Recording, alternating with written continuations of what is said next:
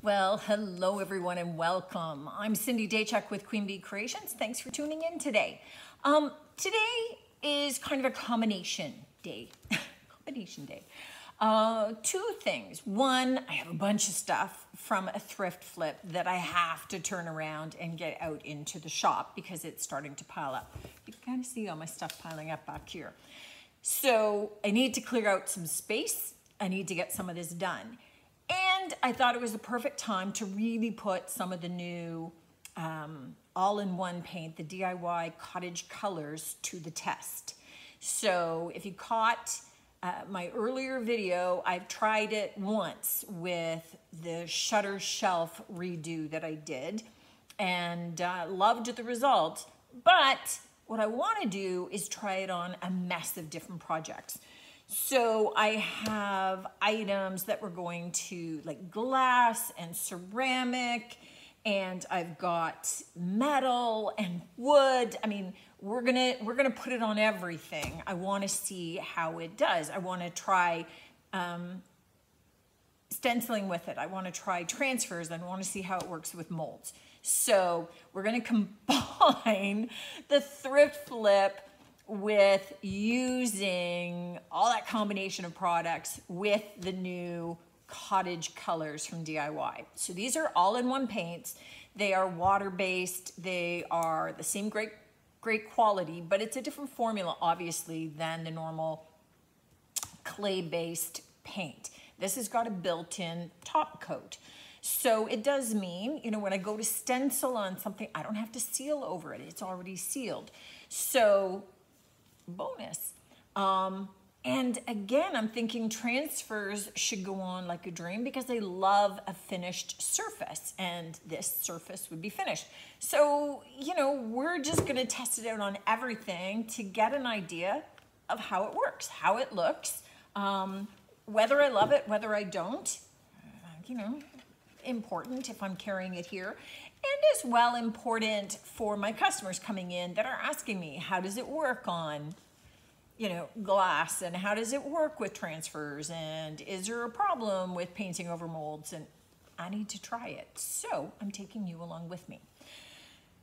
So I've got a number of different things lined up around me and I'm just looking at what needs to happen first. Now, I have this old, really ratty, beat up um, find. I, I actually, this is from a gentleman that I've met when I was thrifting. And he's been hitting some garage sales and picking up stuff and meeting me in the thrifting parking lot with it. Hey, can you use this? Can you use that? So lovely. Larry, I love you.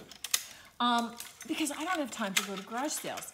So he found this little sign and he had thought look, it's really, I'm taking all these little vines off of this, right? So, yeesh. Um, he thought it was cute, maybe something that I could do something with, but he acknowledges it's old, it's broken, it's beat up, it's tired, but he's, like me, a big advocate of it's wood, don't throw it out. Now, what I did do off camera was, this was a little wobbly and I just stuck a couple of other little nails in it, right? Just to help it out. Now, the big problem is this big crack here. And this isn't something really that wood glue is going to work well with because it's, it's too bowed out. Let's try and patch it up with a bit of wood filler. And, and again, I'm not looking at this having to be super sturdy because it's really just a decorative little piece. So I'm just looking to make sure that this becomes, um, you know, a little bit more seamless looking once it's painted.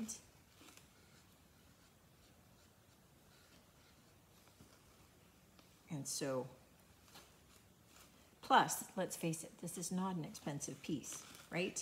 So this, this isn't something that you want to spend a lot of time repairing.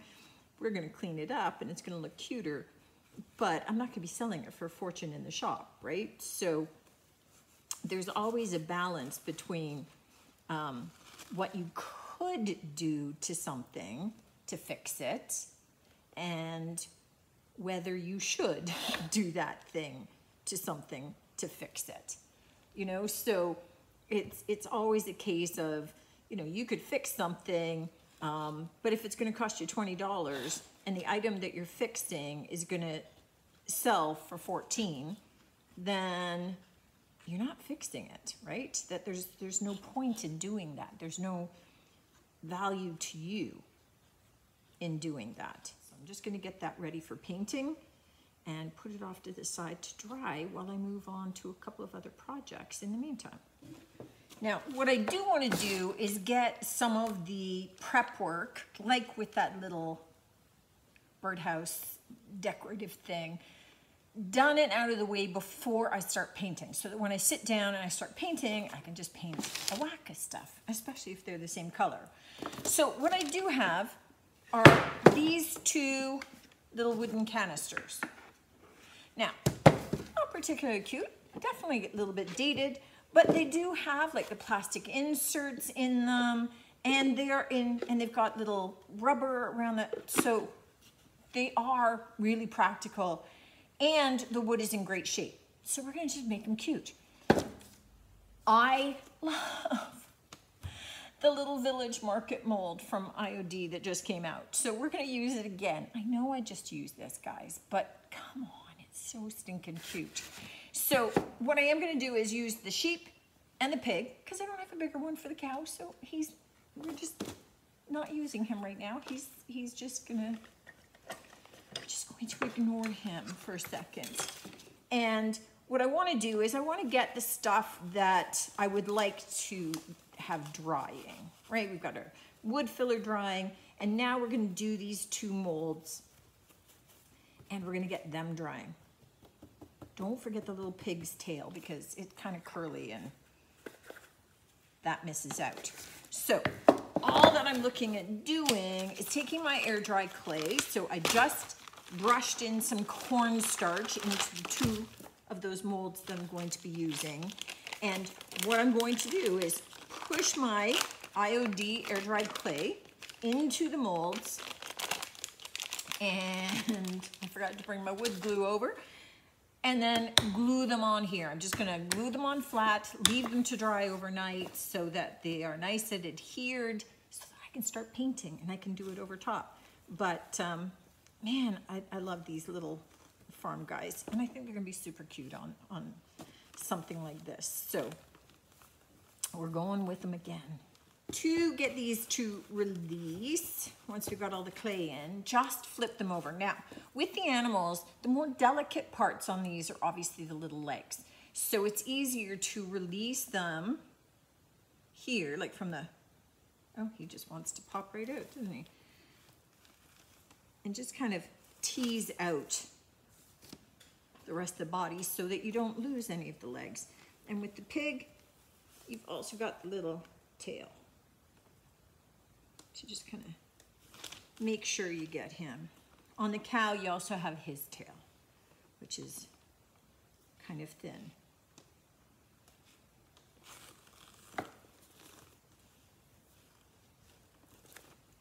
And there we go. Okay, so let's flip them over.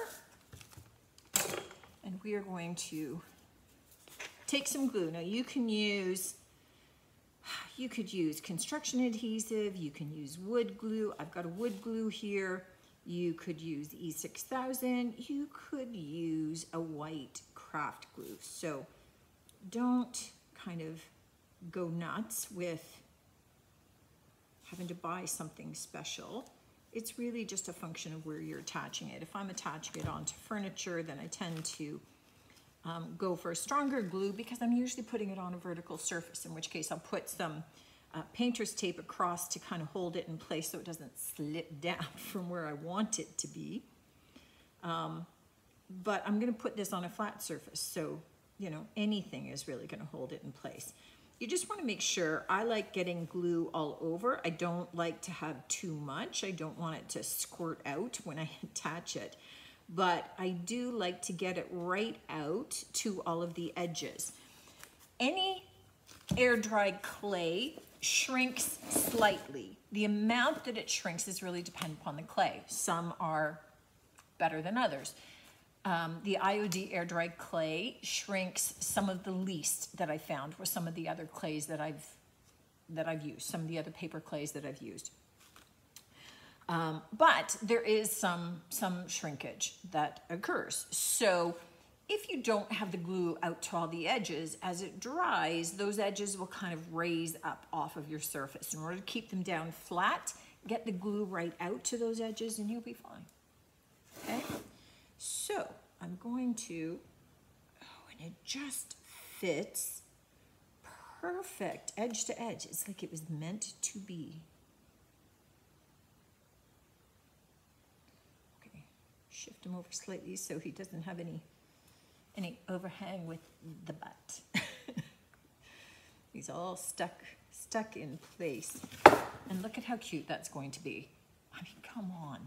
They were just begging. They were, I had these waiting, didn't even know that I was going to be having um, these animals for the longest time.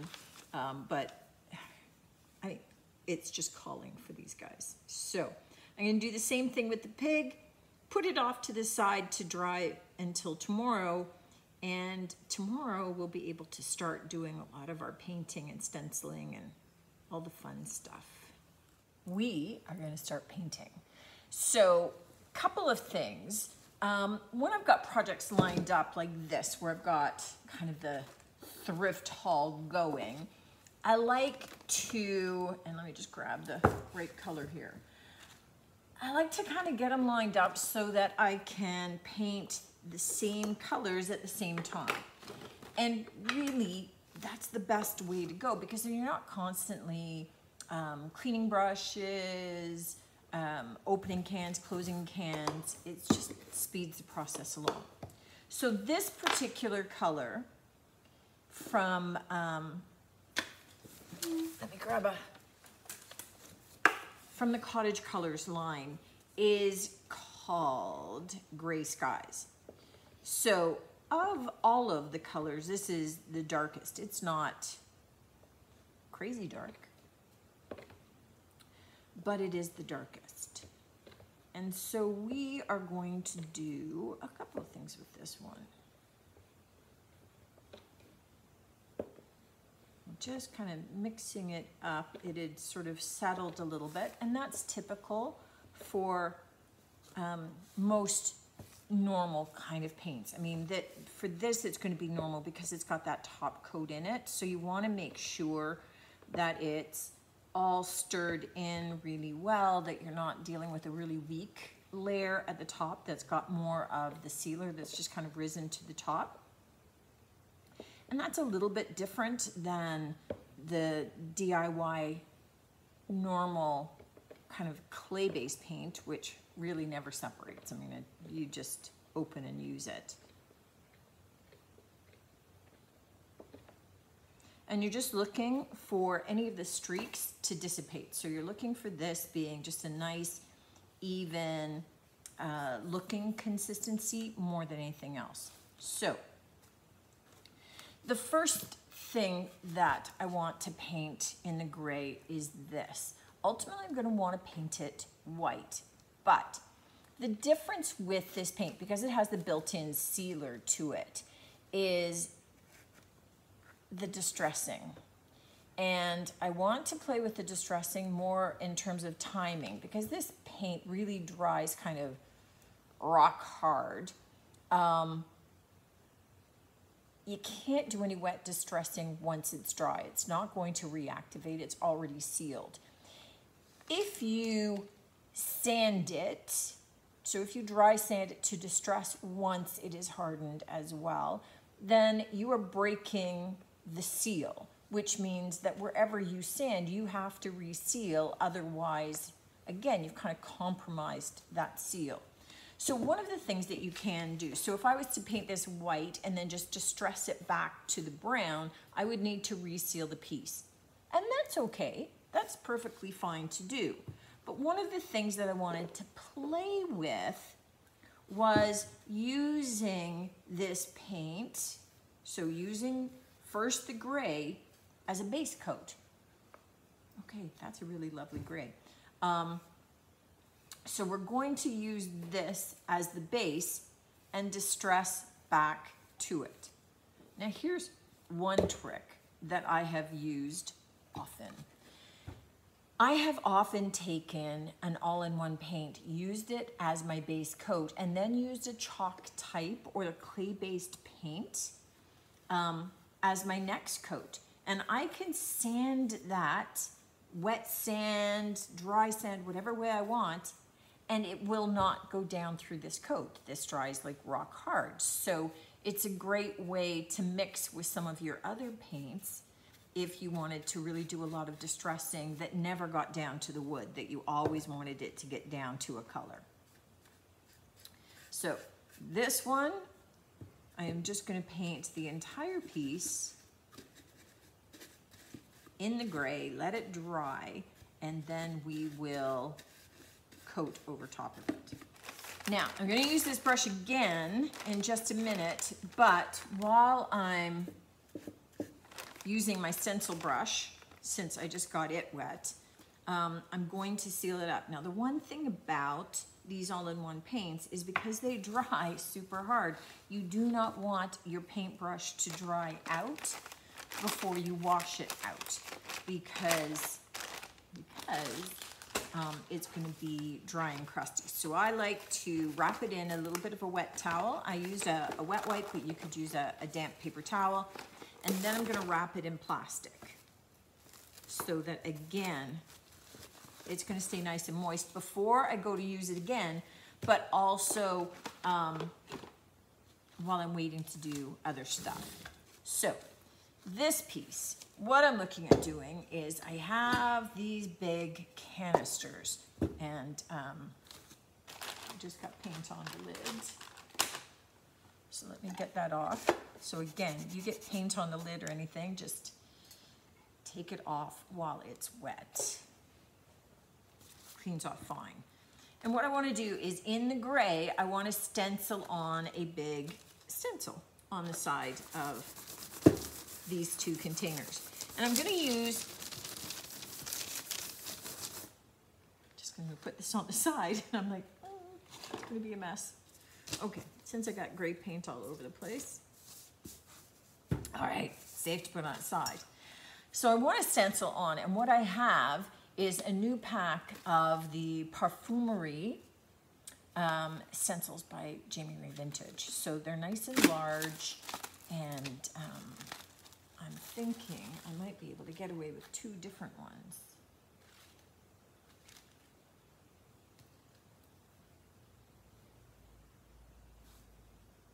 Okay, that's gonna work great. All right, so stenciling on a curved surface is not always the easiest thing to do. Um, only because of the curve. This one is no exception because it has this medallion in the center of, uh, you're, you're not gonna be able to see. Anyway, there's a little medallion in the center that kind of pops up. So I'm gonna have to use my fingers to hold that down when I stencil in that area. Okay, anybody else challenged to find the end of tapes?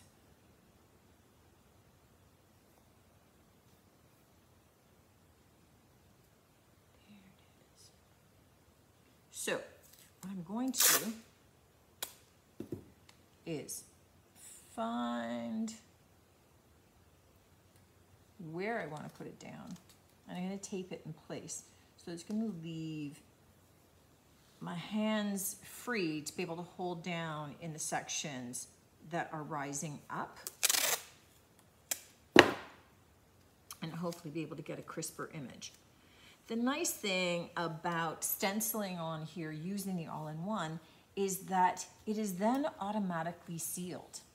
So we've got our, our paint and it's going to be on there. So I'm dipping into my gray skies and then I am on my paper board, I am offloading tons of my paint so that I don't have more than I need.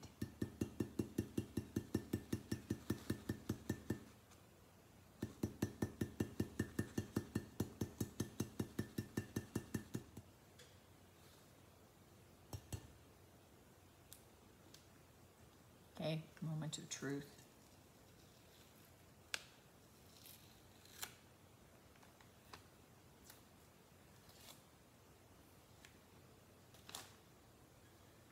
And there you go. It's gonna be hard for you to see. Nice soft image, lovely. So I'm gonna do the other one in a contrasting stencil and I'm gonna wash these stencils off right away just to make sure that again, the paint doesn't dry on there and I'm able to get that off. I have my stencils and my stencil brush washed out and over to the side drying. Now here's the thing, with the all-in-one paint, if you did not clean your stencils, then the stencil would be fine in, in so much as um, the paint won't reactivate when you go to use it. But what it does do is, is it, it's kind of um, settled in around the rim of all of the details of your stencil. So you're, in essence, that image has become minutely smaller and, and each subsequent layer um, becomes less defined and less defined. And so cleaning the stencils just increases the life of your stencil um, because then you don't have to repurchase that one down the road when you can't make out any of the details. That's particularly important on ones like the label stencils that have a lot of little printing because that would be the first that your letters just become really indistinct. Right? Does that make sense? So the next thing that I have is I have a set of three candlesticks. Um, and I want to paint these three gray. So I'm going to take my gray skies and I am going to paint it down into all of those details on each of these three candlesticks and make them, change them over from this. And this has got like ceramic here and it's got like the slick kind of gold, um, it's not metal, it seems more like it's maybe resin. So we've got ceramic and resin that we're coating in the paint. And um, right now, it's going on extremely smoothly. You know, when I look at this little box off to the side, that well, quite honestly, that's just one coat coverage on that. So I get that it's not my final coat, but that gray seems to be doing a really good job about going on and um, covering that up, even though that was kind of that dark orangey kind of colored wood, it really went on nicely. So I'm gonna get all three of these candlesticks and they're kind of the graduated sizes, right? So we've got the medium and then the small. So I'm gonna get those three all covered in the gray as well. And then we're gonna come back and flip to our next color.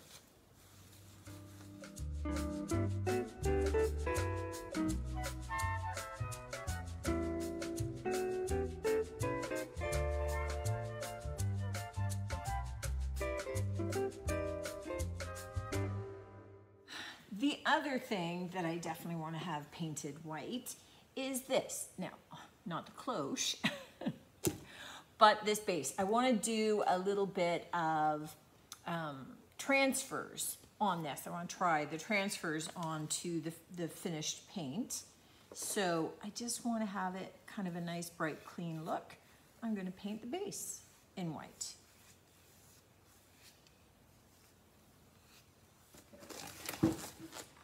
Now, our two little canisters with our little farm animals that we did, um, we're gonna paint these in Haint Blue. So this is the uh, beautiful pale blue color that's part of the cottage color line. And it's just uh, a lovely kind of soft, bluey, kind of a little bit of tones of green in there. It's just a really nice soft color. So we're gonna paint both of these animals and everything in two coats of this Haint Blue color. So it's nice and soft, blue, and we just wanna make sure that we get that color up into all of the edging and all of the details of those animals. The rest, dead easy because it's just straight paint job. But we'll definitely want two coats of this. In addition to the blue pots, um, the canisters, I wanna paint this ceramic cow in the blue as well. So see how going on to a really slick surface like this is gonna work for the paint. And this, of course, will take two coats.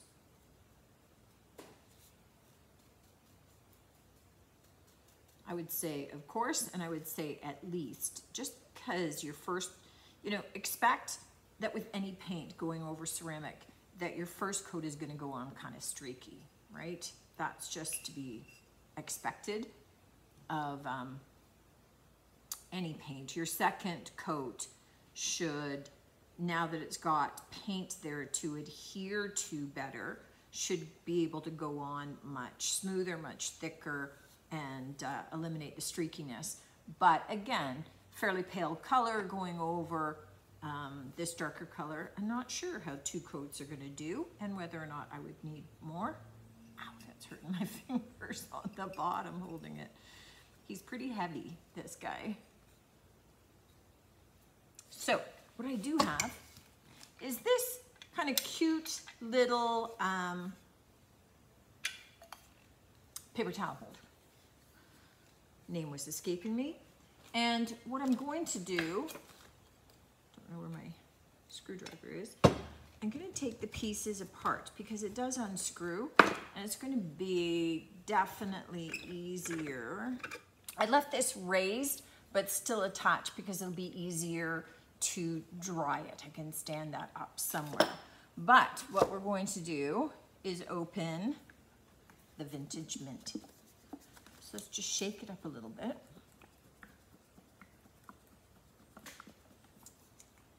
And then let's get that open. I haven't opened this yet, so I don't know what it what it looks like live.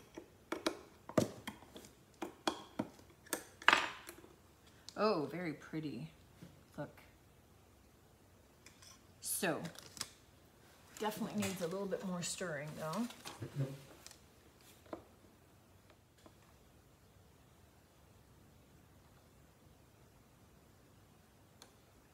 What I, what I like about this as well is that this is not um, the same color as like the mint chip in the um, DIY clay-based paint line. So it's, it's adding, it's adding new colors to the repertoire.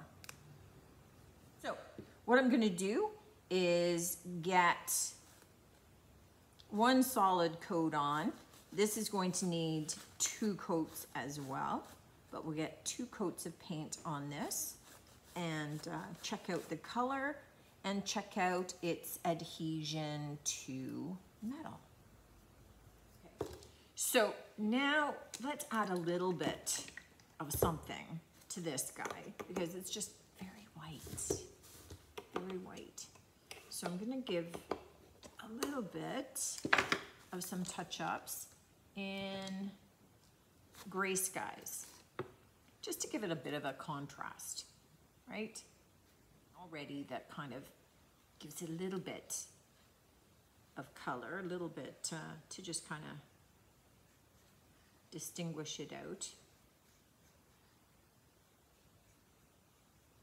And probably this box and the ledge. So um, here we'll add some lettering, but I'll do the box and I'll do the ledge and that'll kind of balance out the gray. For this one, which has the glass dome, I just wanted to do something a little bit cheerful and bright. So I have the Lemons transfer from IOD. And I thought putting some, you know, bright yellow lemons on here would just be kind of cheerful and you know, just kind of sunny. Maybe because it's been raining so much here that I just feel a need for something sunny. But uh, let me cut out. So I'm going to probably layer these a little bit. Maybe keep them within the circle.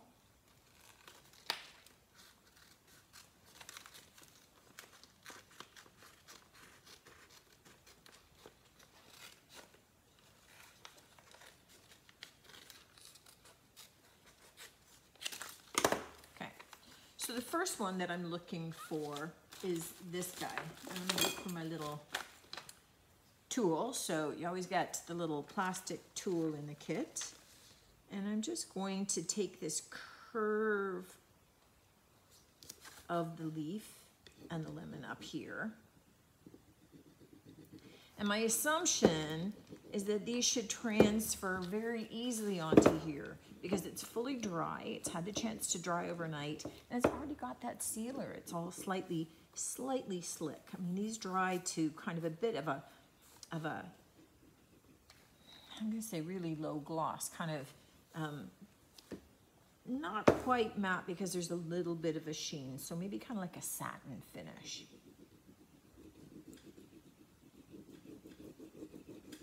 But because it's sealed, I'm thinking that the transfers should stick very easily. And yep. Yeah, I hardly had to rub that at all, really. So let's just burnish it on. And just kind of see about maybe adding another lemon in there. And maybe There we go. And then this leaf is missing the little end, so we'll just have it coming out at the top. Looks like it's coming out from behind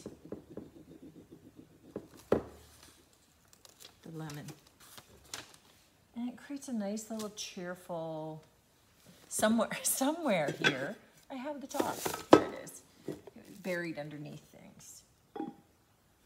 So look how cheerful that looks. Now, the one thing that I will do, all the pieces sealed, except now I've put the transfers on and that is not sealed. So the only thing that I'm going to do, I'll probably do it off camera, is I'll just add on, add on my top coat, just to protect my transfer a little bit. So I'll use the big top, let it dry, and then this one's done. And definitely looks a lot more cheerful and bright than the old wood did. This one, moving all my garbage, this one, um, we've got our, our gray down and you can see that this paint darkens as it dries. So the DIY paint lightens as it dries and then darkens when we add our top coat sealer on. This one darkens, it goes on lighter. So what we are looking at doing to this one is we wanted to try doing a little bit of distressing back to this. So we are going to add, mm, which paintbrush? This guy. We are going to paint the outside of it with our white. So we're just using, again, that cottage color, white linen, and this is going to take a couple of coats because I can see that dark gray through the white. But, hmm, okay. What if instead of distressing,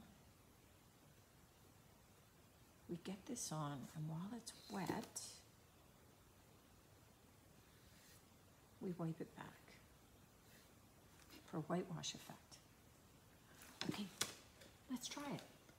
Okay, I'm grabbing a cloth. That one's too dirty. Let me try this one. Okay. So we need to do this while it's wet because it's not going to move afterward. Okay, I like that. Especially in all those grooves. So we're just wiping it back as it's still wet to create that whitewashed effect. Ooh, that's awesome. And the nice thing is, that's got sealer in it, so we're done. So difference with it just solid and then whitewashed. Okay. I like that. And that's kind of an awesome look. All right, so whitewashing with it, great. The only difference is, I mean, this is easy because I'm, I'm working on a small project and a small surface. If you're doing a bigger surface, um, you know, you're doing a big dresser with this, you're going to have to work in small sections, right? You're gonna have to wipe it back while this is still wet, um, because once it's solid, you're into having to sand or, or something to be able to get through that coat. But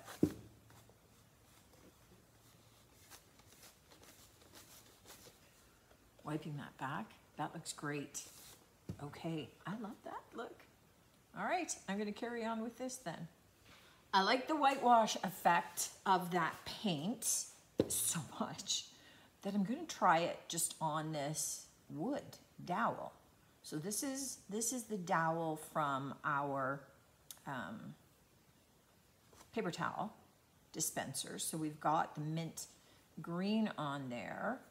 And now let's start and see about kind of whitewashing the wood because it's it just seemed a little stark and just that white drifting over it kind of softens it. I, I'm, I'm digging that. I like that. Okay, so we're just going to finish off the dowel. It's just paler. Awesome, I like that. Good choice. to finish off this box, which is just, I gotta tell you, I love that gray with the white wash on it. That's really nice. I'm loving that. Um, but I just decided it needed a little something. So what I have is the really old um, classic pots transfer from IOD. Now it comes in a pad, but I just took one and I just kind of cut it apart so that I just had little pieces of it that would work. And I'm just gonna put this small little kind of rose label down here on the bottom.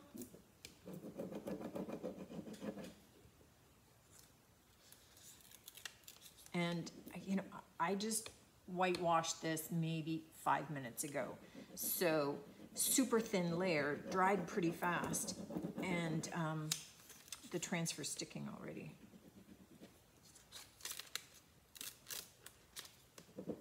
Except for the little tiny bits that I didn't get. The one.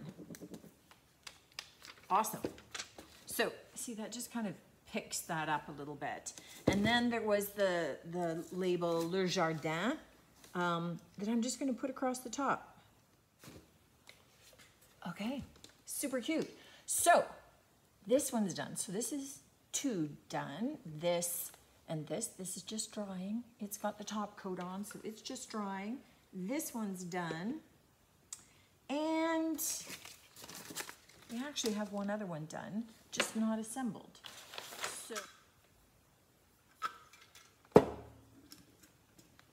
I think for this one, that whitewashing of our stand really kind of made it because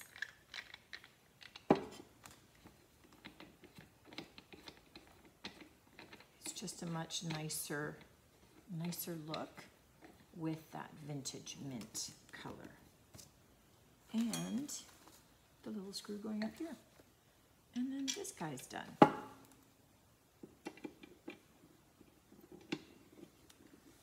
We know that I like the whitewashed look, but I'm gonna try, rather than doing it with the paint, I'm gonna do it with the white wax. Because this is a slightly slicker surface, I want to see how the white wax kind of sticks in and how it works. I'm thinking that I'm just gonna have to be a little bit more, not cautious as I'm distressing, but I have to be a little bit more conscious of it as I'm, as I'm wiping back so that I don't wipe it back from everything, right? Um, but the wax, once it cures, is going to be a finished surface just the same as this painted surface is.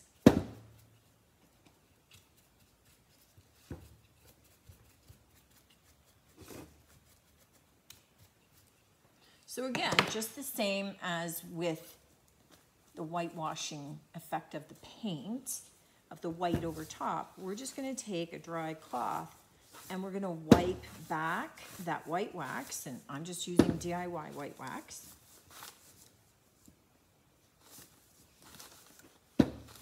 Just to create a little bit of texture, get that paint sitting in some of those details. I mean, get the wax sitting in those details, sorry.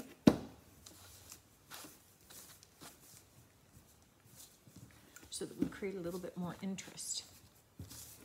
Okay, so I think on the, those balls, I'm gonna have to do a little more conscientious, just rubbing down on the highs. And see how that goes.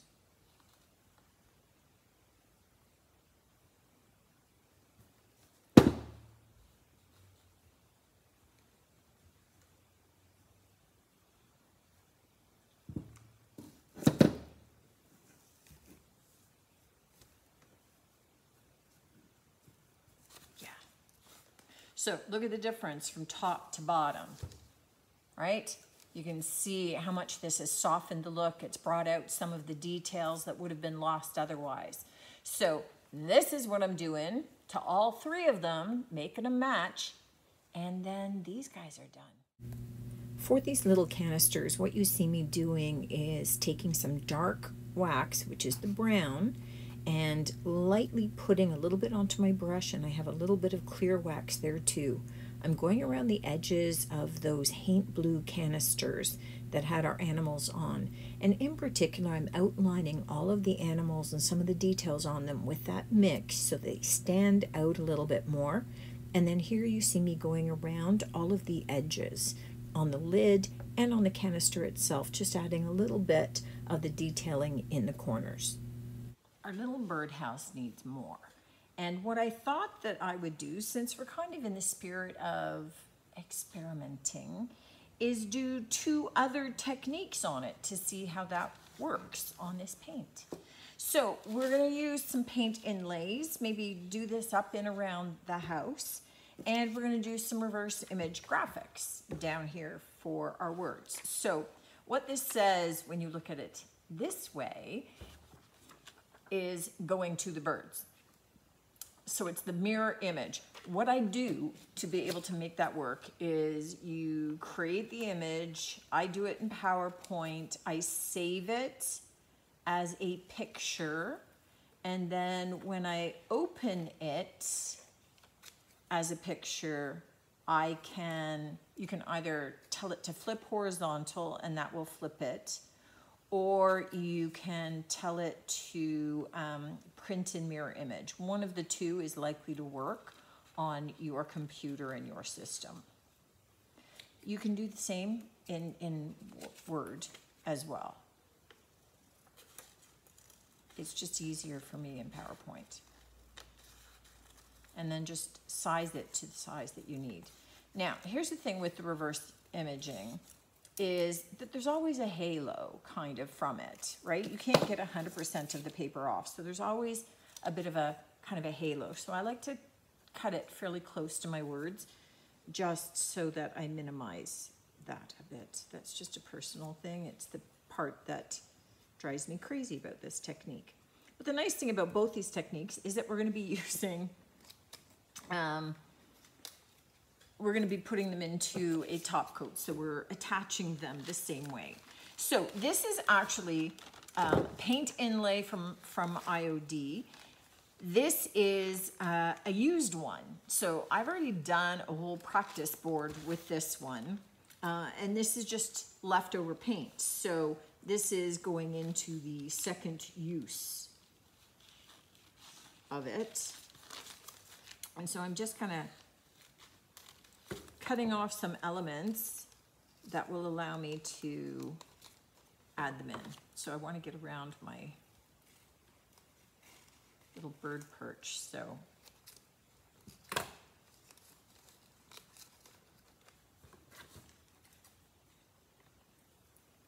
So all you want to do is trim them down to size. Now, they have this, um, I was going to call it seam, border. On fabric, it'd be a seam. Uh, border around them. So you just want to cut off the border so that here I can get it right out to the edge. Right? And then I'm going to want some on the other side and maybe this little guy coming down from the top. My goodness. Okay, so you're going to take, now you can use a top coat of your choice. I'm using Big Top. You can also do this with liquid patina. I just happen to have this out because I was sealing the other transfer. So, you know, I'm just going with what I had. So I'll do this so I sort of get it centered.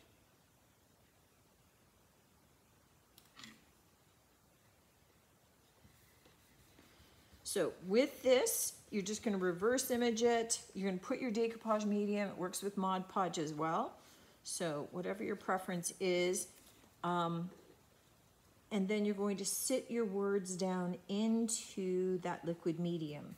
You are not going to seal the top, so it's not like decoupaging. If you seal the top, you're not gonna get your paper off.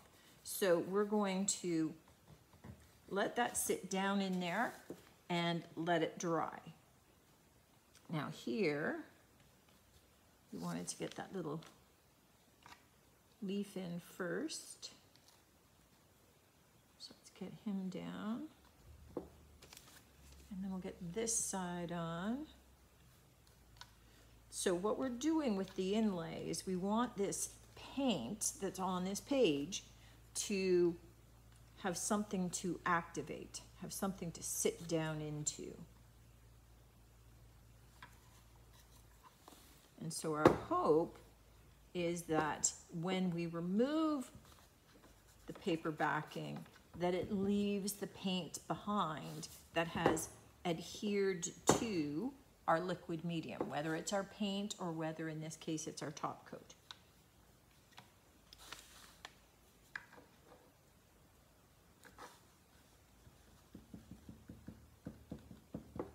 So I have some water on my sponge and I'm just gonna get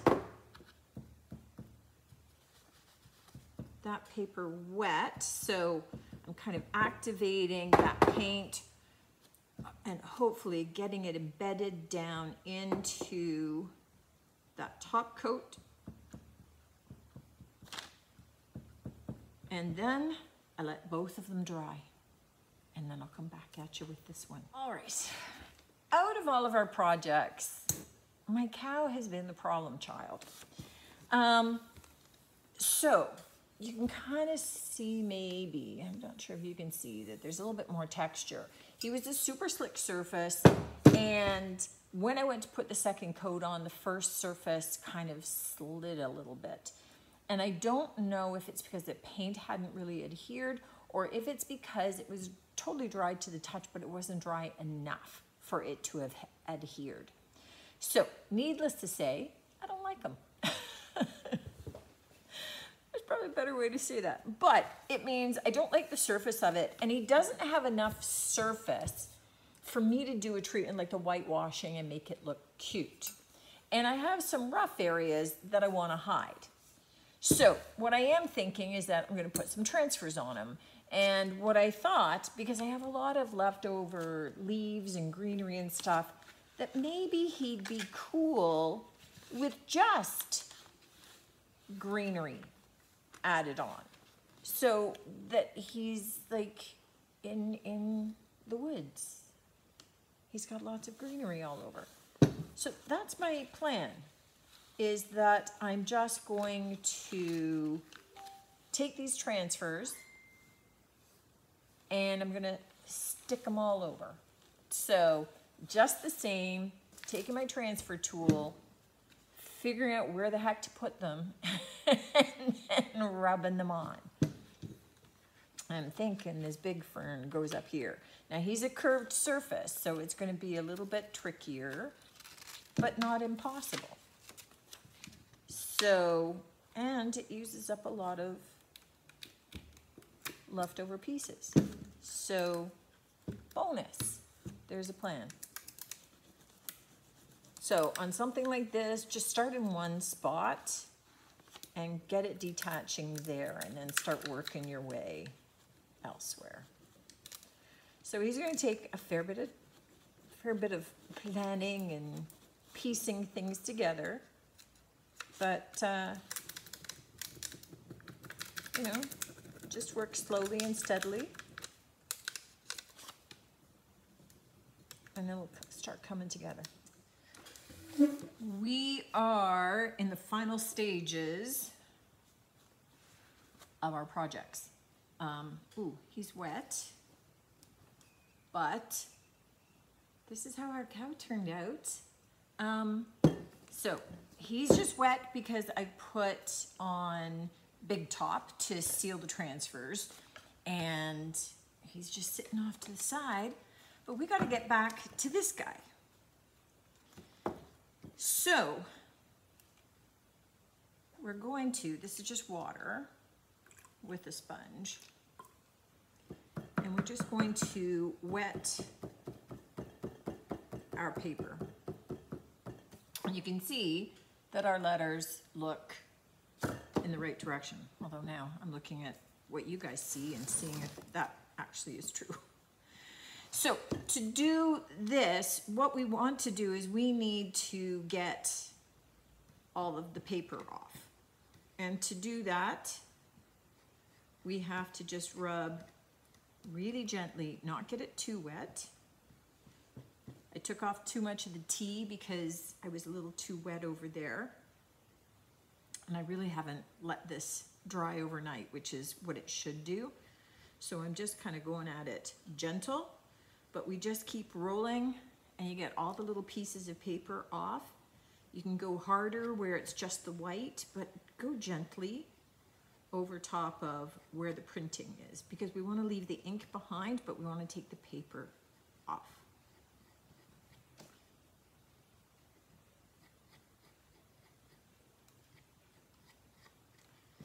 And if it dries a little bit too much, you can just dampen it slightly to be able to get that off.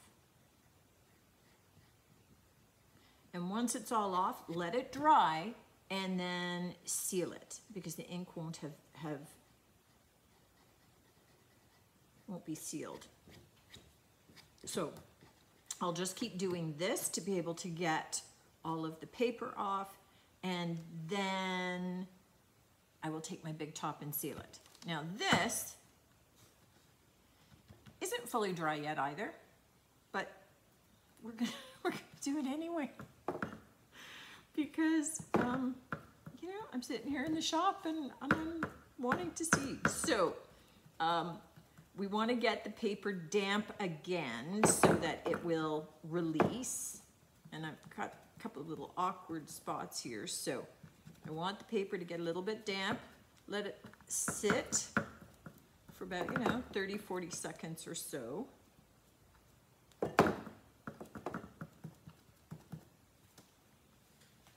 And then we'll be peeling that off.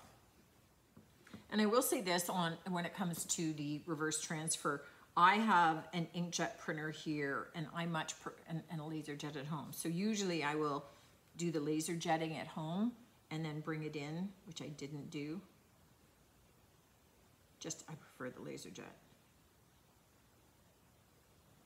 Okay, so we're getting something now. This is, recognize that this is um, the second use of this inlay, which means um, I should not get as strong an image. It should be much more faded than the first time because it has less paint left on it. But for little projects like this, that's perfect. So you get that kind of worn, cottagey kind of look to that. Okay, I'm just gonna slowly get the rest of my paper off here and then let this dry before I seal it. Our projects are done.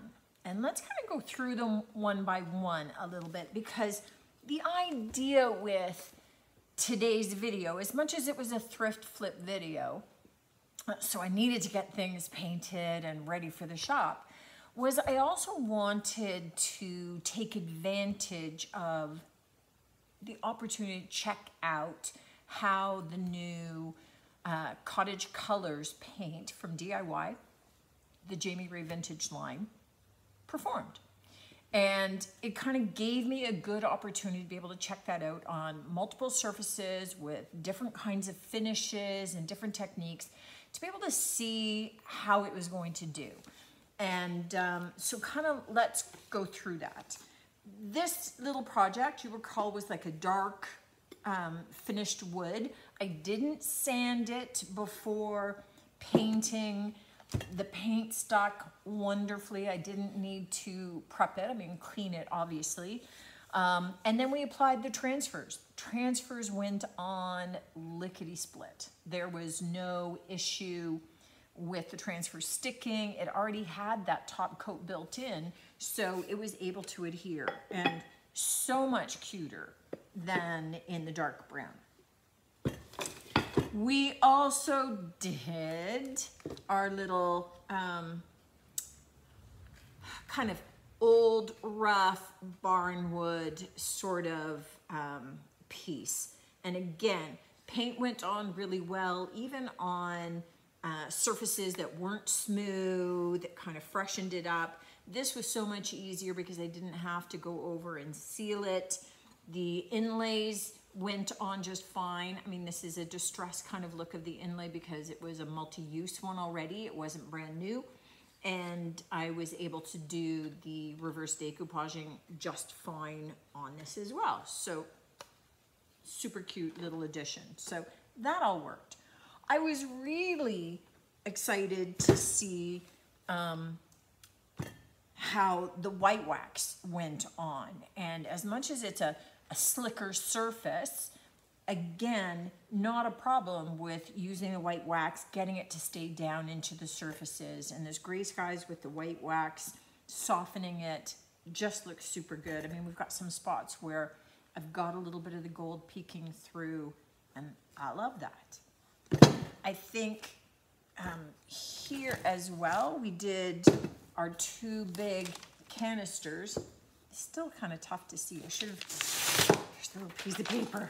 Let me, let me stick that in so you can, you can kind of see the, the look of this. But this is, is showing a little bit of that, that stamp on there. I mean, you can feel it, it, it's raised, but the paint stuck on to the glass just fine. So stem, stenciling on there with, um, with any of the paint worked great.